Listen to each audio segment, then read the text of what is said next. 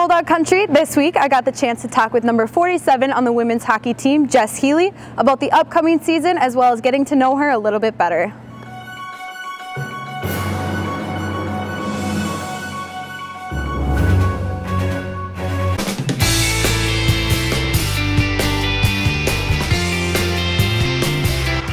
For UMD, take another look at it.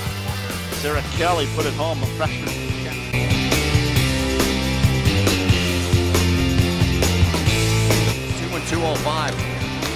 big young boy. Here's a chance in front. They score! Flipped it in there. Went to the net. They combined to give Okay. Hey Bulldog Country, my name is Jess Healey. Um, I'm on the women's hockey team here. I'm a senior um, from Edmonton, Alberta, and I'm a psychology major. This weekend, the Bulldogs did kick off their 2017-18 season here at Amsoil Arena with an exhibition game against the Minnesota Whitecaps.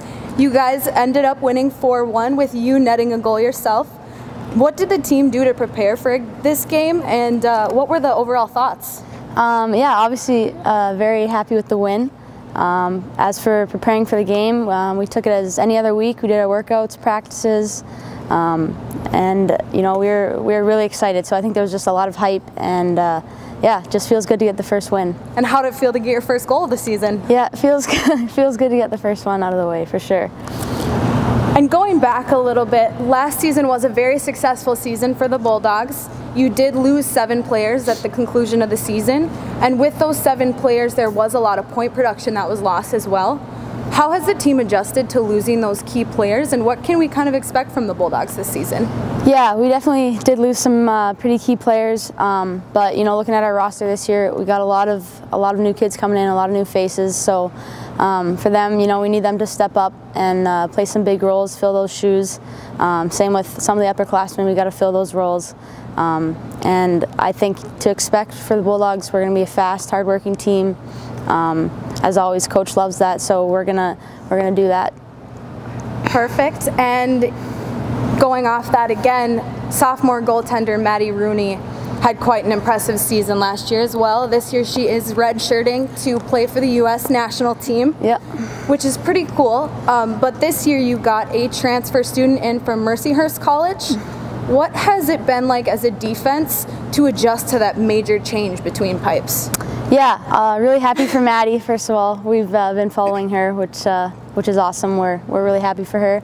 Um, yeah, as for our goalies, um, you know, we're confident with who we have back there, but for the D corps, we want to help them out as much as we can and um, keep teams to the outside, uh, block shots, and do everything we can to just help them out. But like I said, we're we're confident with who we have back there. This year you were named as one of three assistant captains to the team. What does that leadership role mean to you?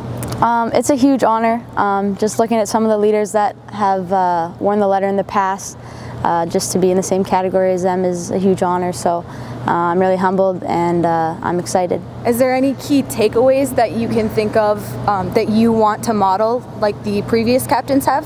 Yeah, absolutely. Um, just looking at last year, uh, our captains, Ashleigh Brykaliuk and Sid Morin, uh, two people I really looked up to. So um, obviously I want to try and be like them and um, yeah, just, just try and fill those, fill those shoes. And looking ahead, uh, in January, you are going to be part of the first ever women's outdoor college hockey game against St. Cloud State for Hockey Day Minnesota.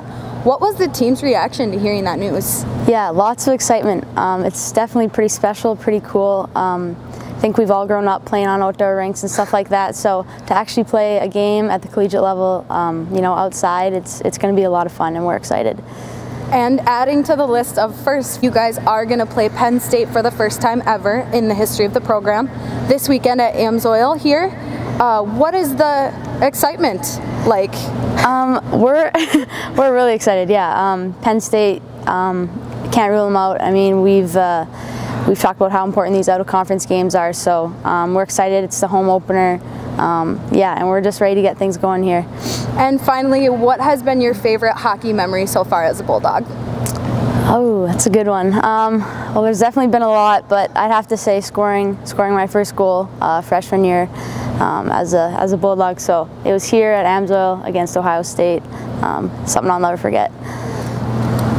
Now Bulldog Country would like to get to know Jess a little better outside of hockey, so we're going to ask you a series of rapid fire questions for you to answer to the best of your ability. Are you ready? Let's go. If you could have any superpower, what would it be and why?